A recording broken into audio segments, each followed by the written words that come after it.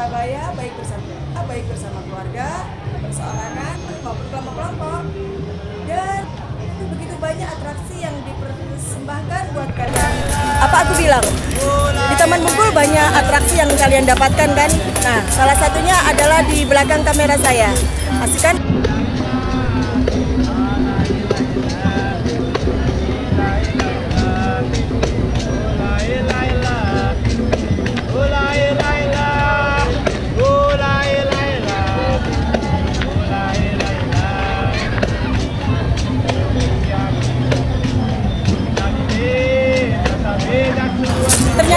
Yang saya sampaikan tadi itu adalah atraksi apa mas? Capoeira dari capoeira Brasil. dari Brasil ya. Oh jadi keren sekali kan. Jadi kalian yang tidak datang di Taman Bungkul ini rasanya kurang sesuatu banget gitu ya. Ya. Nah ini saya berpos sama mereka Hai, halo lagi istirahat ya. Ya. Oke. Silahkan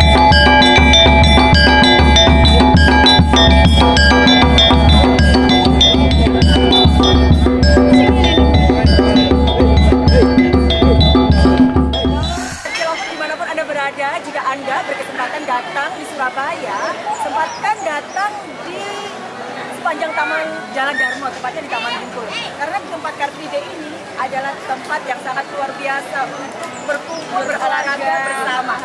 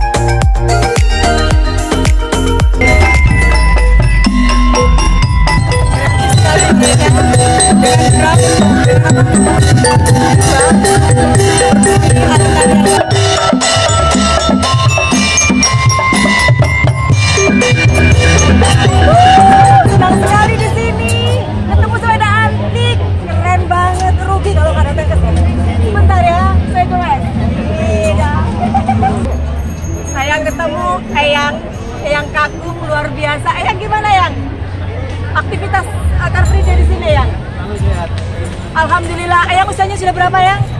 Apa masih muda kok? hanya hanya rambutnya aja yang berasa putih ya, tapi usianya masih 32 ya. Saya 23, beliau 32.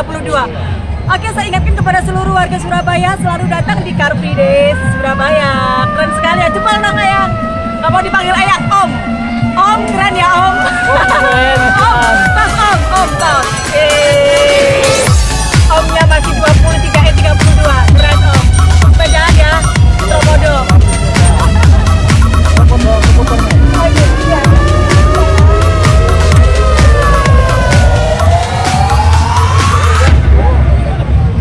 Oke, sip.